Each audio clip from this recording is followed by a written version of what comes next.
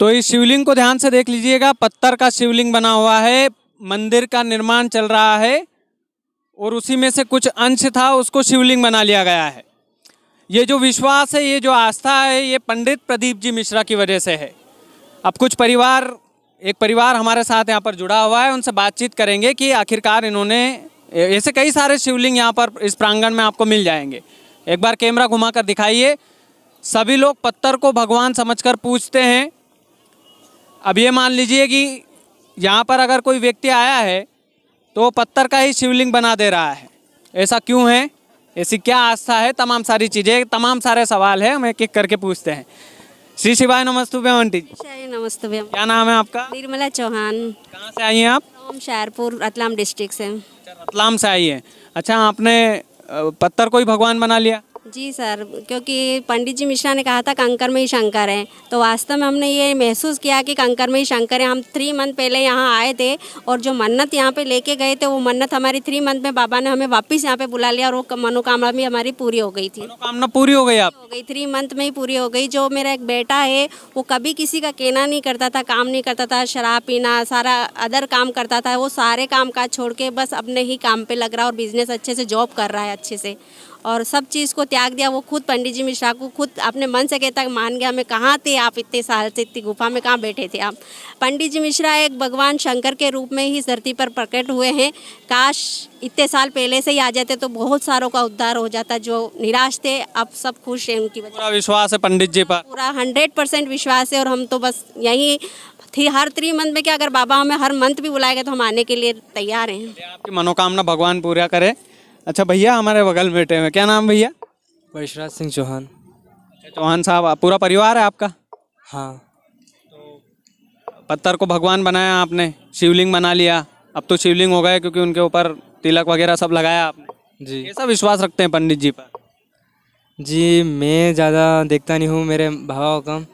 मेरे मम्मा और मेरे बुआ साहब देखते मतलब पंडित जी मैं पढ़ाई करता हूँ तो मेरे को इतना कभी कभी मतलब मैं इनके साथ बैठ कर देख लेता हूँ पंडित यहाँ आकर कैसा लगा आपको? यहाँ आकर आनंद मतलब एक सुकून सुकून जिसे बोलते हैं। जिसे बोलते हैं। सुकून महसूस हो रहा है आपको। अच्छा चलिए और जो लोग श्री शिवाय नमस्तुभ्यम। शिवाय नमस्तु हम गुरु आपका नाम बता दीजिए। मेरा शिवेंद्र कुमारी। पूरा परिवार आप ही का है ना ये? मेरी मम्मी है। और ये मेरी बहन है और ये मेरे भाभी हैं। कैसा लगा यहाँ आकर? बहुत अच्छा लगा। बहुत ही अच्छा लगा। हमारी सब मनोकामना यहाँ से पूरी हो रही है। पंडित जी के कहने पर कंकर को शंकर बना लिया आपने। आया हमने। चलिए, आपकी हर मनोकामना। अम्बा जी नमस्ते कैसे हैं आप? बढ़िया। दो काम पूरे करे हैं। दो मनोकामना मेरी पूरी हो गई है और तीसरी के लिए फिर आई हूँ मैं। एक मनोकामना पूरी होगी। मनोकामना मेरी पूरी हो गई और मेरी बहू की भी मनोकामना पूरी हो गई है। उनकी मम्मी नया जीवन मिला उनको कैंसर हो गया था उनने ये व्रत करा पशुपति नाथ का उससे वो ठीक हो गए। क्या बात है आंटी जी ज़रूर आपकी हर एक मनोकामना पूरी होगी। नमस्ते आपका नाम क्या है? मेरा नाम निशा कुंवर है मैं चित्तौड़ से आई हूँ। अच्छा चित्तौड़गढ़ से? अरे बड़ी पावन नगरी से आई हैं जी। और कैसा लगा यहाँ पर आके? बहुत अच्छा लगा मेरे को बहुत बाबा ने बहुत सुख शांति दी और मेरे प्लॉट लेने का भी नहीं था तो अचानक मेरे प्लॉट लेने में आ गया। और बहुत अच्छा लगा मुझे और तीन महीना में बाबा ने मेरे को वापस बुला लिया। चलिए बाबा की कथा भी सुनकर जाइएगा अभी पंडित प्रदीप जी मिश्रा की।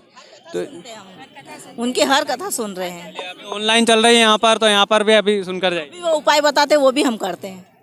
बात है अम्मा आपकी हर मनोकामना पूरी होगी आप मांग के तो जाइए यहाँ से। पत्थर चढ़ाने की जो बताई विधि राइट लेफ़्ट और जो चढ़ाई उसके अकॉर्डिंग हम पूजा पाठ करते हैं। बाबा ने जैसा बताया तो उसके अकॉर्डिंग हमारे सारे काम हो रहे कोई से भी काम में रुकावट नहीं आ रही है। जी। क्या बात है, आपका हर एक काम पूरा होगा। देखिए पंडित प्रदीप जी मिश्रा कहते हैं कि कंकर में ही शंकर है तो इन्होंने कंकर को उठाया और उनको शंकर बना दिया। अब शंकर भगवान है ये, और बिलपत्रे आप देख रहे होंगे, धतूरा देख रहे होंगे, नारियल दीपक भी लगे हुए हैं, और विधि विधान से ये लोग पूजा कर रहे हैं, कुबेरेश्वर भगवान के आँगन में बैठ करके।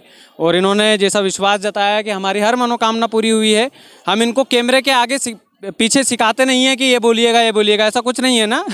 अचानक से आए हैं और अचानक से हम बातचीत करने लगते हैं।